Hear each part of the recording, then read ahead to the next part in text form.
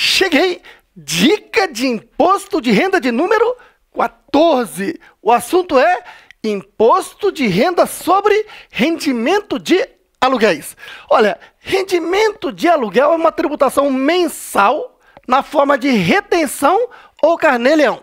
Retenção quando alugo imóvel para pessoa jurídica e carnê-leão quando alugo imóvel para pessoa física. E como isso funciona? Tá aqui. Cálculo da retenção, quando recebo de pessoa jurídica, ou carnê-leão, quando recebo de pessoa física, é o mesmo cálculo, certo? Agora, cuidado que as despesas dedutíveis aqui são outras, não são as mesmas lá de salário, etc. Tá ok? Então tá aqui. Pega o rendimento tributável bruto, o aluguel. Deduções. São possibilidade de cinco deduções. Um, impostos, taxas e emolumentos. Aqui o principal é IPTU. Agora, cuidado. Geralmente não se abate o IPTU, por quê?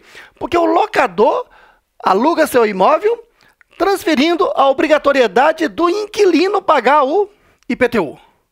Só que, imagine esse período da pandemia que a gente viveu e o país ainda atravessa dificuldades, e aí então a inadimplência é muito grande.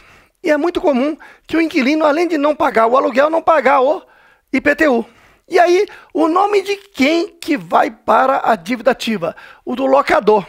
E para evitar esse tipo de coisa, em alguns casos, o locador tem cobrado um aluguel um pouco maior para ele próprio pagar o IPTU. Nesse caso é que ele vai poder abater o IPTU como sua despesa dedutível do aluguel que ele recebe. Entendido aí? 2. Aluguel pago pela locação de imóvel sublocado. Aqui eu vou te exemplificar, olha só. Raciocine. Aqui está o José, João e Maria. Foco no João. José tem um imóvel e alugou para o João. Então o João locou tendo que pagar 8 mil, certinho? E aí o José não tomou cuidado e não colocou uma cláusula restritiva que proíba a sublocação. E o João aproveitou e sublocou esse mesmo imóvel para a Maria e cobrou dela 10 mil, o João é esperto. E como fica o cálculo do imposto de renda para o João?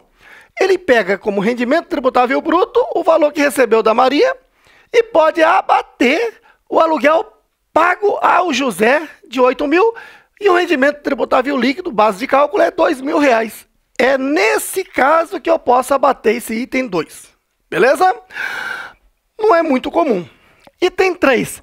Despesas pagas pela cobrança ou recebimento de rendimento. Será que se o inquilino não paga e o locador contrata um advogado e procura cobrar extrajudicial ou judicial e tem que pagar um honorário ao advogado e às vezes custas judiciais. Será que essa despesa que pode ser abatida? Não. Aqui é muito simples. Digamos que o Roberto tem um imóvel e ele tem, não tem tempo para ficar aí mexendo com locação e ele entrega para uma imobiliária administrar a locação do imóvel. E a imobiliária cobra uma taxa, digamos, 10% do valor do aluguel. Esse é o valor que eu posso abater aqui a título de despesas pagas pela cobrança ou recebimento de rendimento, o que é mais comum. Certinho? 4. Despesas de condomínio. Também não é comum, porque o de praxe é o locador alugar seu imóvel e transferir ao inquilino que ele pague a taxa de condomínio, mesmo porque é ele que gasta água, energia, essas coisas, certinho? Mas em períodos estranhos como o atual, é, pós-pandemia, o que, que acontece? O inquilino se torna inadimplente, deixa de pagar a taxa de condomínio e o nome de quem que fica sujo? O do locador. E para evitar, então, muitos fazem com que cobre um aluguel um pouco maior e ele próprio paga a taxa de condomínio. E assim, nesse caso, é que ele pode abater a taxa de condomínio. Então você está vendo que o primeiro e o último caso não é muito comum, porque é, a incumbência fica por parte do locador, locatário em geral, né, do inquilino. Agora, o mais comum é essa despesa paga pela cobrança, porque você geralmente entrega para uma imobiliária administrar. Beleza? E aí pronto, encontrei aqui o rendimento tributável líquido, que é a base de cálculo, e vou lá para a tabela progressiva e verifico naquelas cinco faixas em qual alíquota se encontra ali de 7,5 a 27,5. Certinho? Encontro um total, subtraio a parcela deduzir lá da tabela progressiva e pronto, encontrei um imposto de renda retido na fonte se vou receber aluguel de uma pessoa jurídica.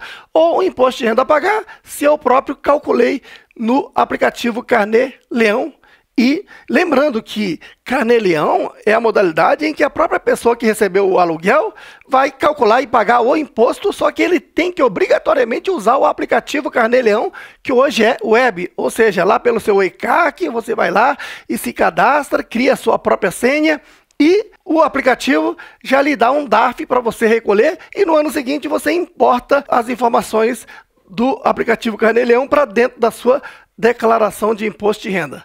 Certinho? Então, gostou deste conteúdo? Então dê logo uma porrada aí no like, inscreva-se aqui no canal, acione o sininho para você receber as notificações dos próximos vídeos, porque é melhor você receber as notificações dos vídeos de qualidade do Lobeto do que receber as notificações da Receita Federal. E olha, tem uma novidade, se você quer assistir às aulas grátis do Lobeto, olha só, cursos grátis do Lobeto, seja lá de imposto de renda, MEI, Simples Nacional, lucro presumido, lucro real, contabilidade.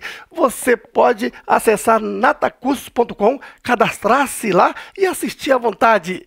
Tamo juntos!